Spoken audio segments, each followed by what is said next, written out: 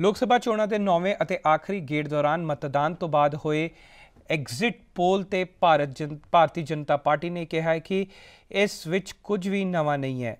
ਇਹ ਸਭ ਨੂੰ ਪਹਿਲਾਂ ਹੀ ਪਤਾ ਸੀ। ਭਾਰਤੀ ਜਨਤਾ ਪਾਰਟੀ ਦੇ ਆਗੂ ਸਤਪਾਲ ਜੈਨ ਨੇ ਕਿਹਾ ਕਿ ਸਰਵੇ 'ਚ ਦੇਸ਼ ਦੀ ਜਨਤਾ ਦਾ ਰੁਝਾਨ ਪਤਾ ਚੱਲ ਰਿਹਾ ਹੈ।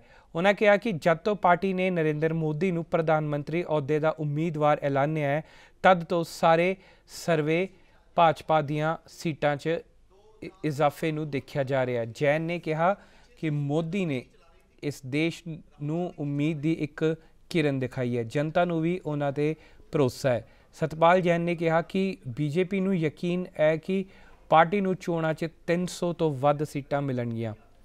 ਉਹਨਾਂ ਕਿਹਾ ਕਿ ਜਨਤਾ ਮੋਦੀ ਨੂੰ ਪ੍ਰਧਾਨ ਮੰਤਰੀ ਦੇ ਰੂਪ 'ਚ ਦੇਖਣਾ ਚਾਹੁੰਦੀ ਹੈ। ਉਸ ਨੂੰ ਮੋਦੀ ਦੇ ਰੂਪ 'ਚ ਇੱਕ ਭਰੋਸੇਮੰਦ ਵਿਕਲਪ ਮਿਲ ਗਿਆ ਹੈ।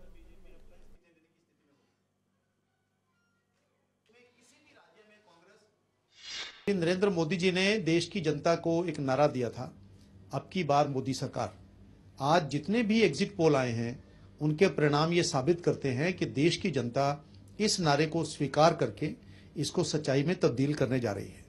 सितंबर में हमने श्री नरेंद्र मोदी जी को प्रधानमंत्री पद का उम्मीदवार घोषित किया था और उसके बाद जनवरी में, फरवरी में, मार्च तक जो भी सर्वे आते रहे, वो सब सर्वे में भारतीय जनता पार्टी और इंडिया पहले से ज़्यादा एनडीए पहले से ज़्यादा सीटें लेती रही है।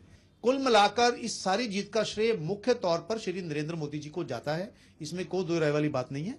लोग उनको देश का प्रधानमंत्री देखना चाहते हैं।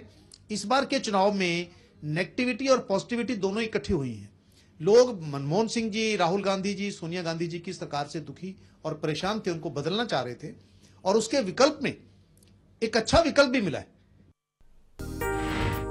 खबर दुनिया बिचाओ ਸਾਡੇ ਨਾਲ ਕਦੇ ਵੀ ਤੇ ਕਿਤੋਂ ਵੀ ਜੁੜੋ ਆਪਾਂ ਮਿਲਾਂਗੇ ਫੇਸਬੁੱਕ ਤੇ ਅਸੀਂ ਦਿਖਾਂਗੇ YouTube ਤੇ ਸਾਨੂੰ ਫੋਲੋ ਕਰੋ Twitter ਤੇ ਖਬਰਾਂ ਨਾਲ ਜੁੜੇ ਰਹੋ ਦਿਨ ਰਾਤ